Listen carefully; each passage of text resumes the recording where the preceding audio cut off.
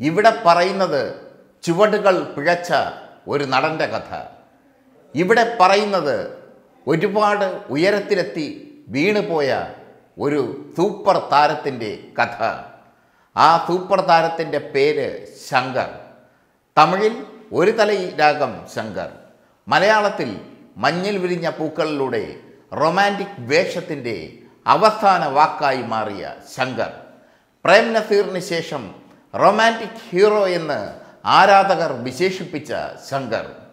ശങ്കറിന് എവിടെയാണ് പിഴച്ചത്? ശങ്കറിന്റെ വരവ് അസാധ്യമായ വരവായിരുന്നു. തമിഴിൽ ടി രാജേന്ദ്രൻ സംവിധാനം ചെയ്ത ഒരു തലൈ രാഗത്തിലൂടെയാണ് ശങ്കർ രംഗപ്രവേശം നടത്തിയത്. ഒരു തലൈ രാഗം തമിഴിൽ ഓടിയത് ഒരു വർഷം. തമിഴിൽ ഇതോടുകൂടി ശങ്കറിനെ തേടി നിരവധി പ്രോജക്റ്റുകൾ വന്നു. എന്നാൽ മലയാളിയായ ശങ്കറിന് മലയാള സിനിമയോടായിരുന്നു താല്പര്യം മലയാളത്തെ മലയാള ഭാഷയെ ഹൃദയത്തോട് ചേർത്ത് പിടിച്ചു ശങ്കർ. അങ്ങനെയാണ് ശങ്കർ മഞ്ഞിൽ വിരിഞ്ഞ പൂക്കളിൽ എത്തുന്നത്. മഞ്ഞിൽ വിരിഞ്ഞ പൂക്കൾ ഒരു ട്രെൻഡ് സെറ്ററായിരുന്നു. പുതുമുഖങ്ങളുടെ ആഘോഷമായ സിനിമ. ശങ്കറും മോഹൻലാലും പൂർണിമ ജയറാമും മത്സരിച്ചഭിനയിച്ച സിനിമ. മഞ്ഞിൽ വിരിഞ്ഞ പൂക്കൾക്ക് ശേഷം ശങ്കറിന് തിരിഞ്ഞു നോക്കേണ്ടി വന്നില്ല. നിരവധി നിരവധി സൂപ്പർ ഹിറ്റുകൾ. എന്റെ മോഹങ്ങൾ പൂവണിഞ്ഞു. സമ്മേളനം പൂച്ചയ്ക്കൊരു മുക്കുത്തി തുടങ്ങിയ ഹിറ്റുകളുടെ പരമ്പര. ഹിറ്റുകളുടെ പരമ്പരയിൽ ശങ്കർ അഭിരമിച്ചു. ഹിറ്റുകൾ എന്നും ഉണ്ടാകുമെന്ന് ശങ്കർ വിശ്വസിച്ചു.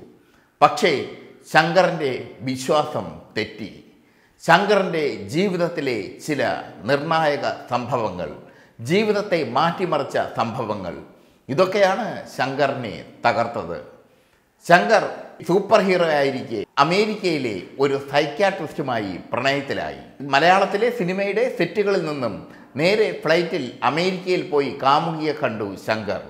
ആ കാമുകിയുമൊത്ത് ശങ്കർ വിവാഹം കഴിച്ചെങ്കിലും ആ വിവാഹത്തിന് അധിക ആയുസ് ഉണ്ടായില്ല. മാത്രമല്ല ശങ്കറിന്റെ കരിയറിൽ നിറയെ ഗോസിപ്പുകളായിരുന്നു. ഒരു കാലത്ത് ശങ്കറും അംബികയും തമ്മിൽ പ്രണയത്തിലായിരുന്നു. എന്നാൽ ആ പ്രണയം വിവാഹത്തിൽ എത്തിയില്ല. പിന്നീട് ശങ്കറും മേനകയും തമ്മിൽ പ്രണയത്തിലാണെന്ന വാർത്ത പരന്നു. കാരണം ശങ്കറും മേനകയും തമ്മിൽ ഒത്തിരി സിനിമകളിൽ ഇരുപതോളം സിനിമകളിൽ മുത്തോട് മുത്തടക്കമുള്ള സിനിമകളിൽ അരോമ മണി നിർമ്മിച്ച സിനിമകളിൽ ഒരുമിച്ച് അഭിനയിച്ചു. ശങ്കർ മേനകയെ കല്യാണം കഴിക്കണമെന്ന് ആഗ്രഹിച്ചവർ ഏറെ. പക്ഷേ മേനകയ്ക്ക് ഇഷ്ടം നിർമ്മാതാവ് സുരേഷിനെയായിരുന്നു മേനക തന്നെ ഒരിക്കൽ എന്നോട് പറഞ്ഞു ശങ്കർ എന്റെ സഹോദരനായിരുന്നു. എന്റെ ദുഃഖങ്ങൾ എന്റെ സന്തോഷങ്ങൾ എല്ലാം പങ്കുവയ്ക്കുന്ന ഒരു സഹോദരൻ. എന്തായാലും സിനിമയുടെ യാത്രയിൽ ശങ്കറിന് വീഴ്ച പറ്റി. ആ വീഴ്ചയിലൂടെ ഉയർത്തെഴുന്നേറ്റത് ഇന്നത്തെ കംപ്ലീറ്റ് ആക്ടർ മോഹൻലാലും. ശങ്കറിന്റെ സിനിമയിൽ സൈഡ് റോളുകൾ ചെയ്താണ് മോഹൻലാൽ വന്നത്. പിന്നീട് മോഹൻലാൽ ശങ്കറിന്റെ സിനിമയിൽ തുല്യവേഷങ്ങൾ ചെയ്തു. എങ്ങനെ നീ മറക്കും? അരം പ്ലസ് അര കിന്നരം പൂച്ചയ്ക്കൊരു മുക്കുത്തി ഒന്നാനാം കുന്നിൽ ഓരടിക്കുന്നിൽ തുടങ്ങിയ സിനിമകളിലൊക്കെ ശങ്കറും മോഹൻലാലും തുല്യ പ്രാധാന്യമുള്ള വേഷങ്ങളിൽ അഭിനയിച്ചു. ഈ സിനിമകളെല്ലാം സൂപ്പർ ഡ്യൂപ്പർ ഹിറ്റുകളായിരുന്നു. പിന്നീട് മോഹൻലാൽ റൊമാന്റിക് നായകനായി ഉയർന്നു. നോക്കാത്ത ദൂരത്ത് കണ്ണെന്നിട്ട് എന്ന ചിത്രത്തിലൂടെ മോഹൻലാലിനെ റൊമാന്റിക് നായകനായി പ്രേക്ഷകർ അംഗീകരിച്ചപ്പോൾ ശങ്കറിന്റെ സ്ഥാനം നഷ്ടമായി.